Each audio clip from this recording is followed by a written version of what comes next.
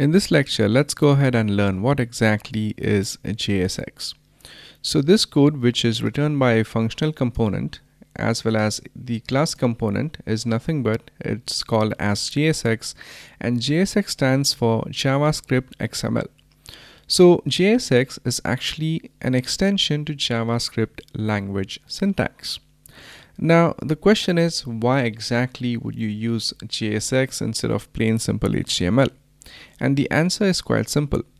JSX allows you to write XML-like code and JSX tags have attributes tag name and children. Another best thing about JSX is that it makes your React code simpler. And also JSX comes with full power of JavaScript which means that inside this particular JSX code you could also go ahead and write some JavaScript expressions.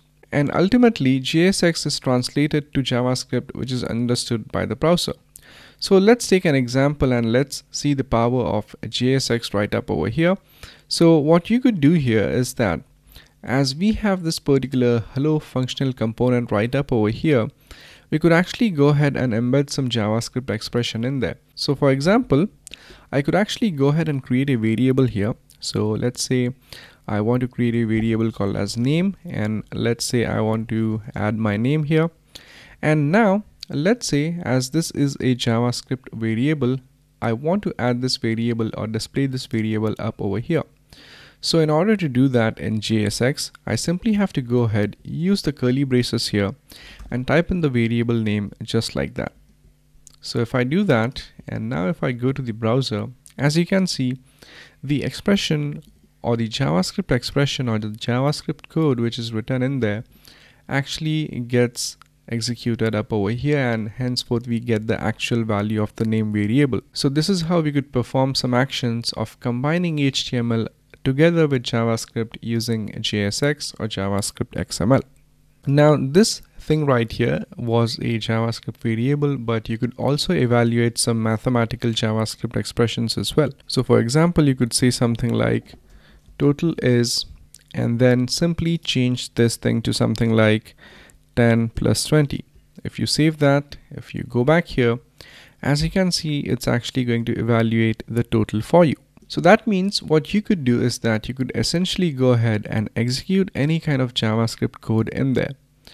You could also go ahead and make a function call as well inside these curly brackets right here so let's go ahead and create a function here and let's try to execute that inside JSX or let's try to call that function here inside the JSX code.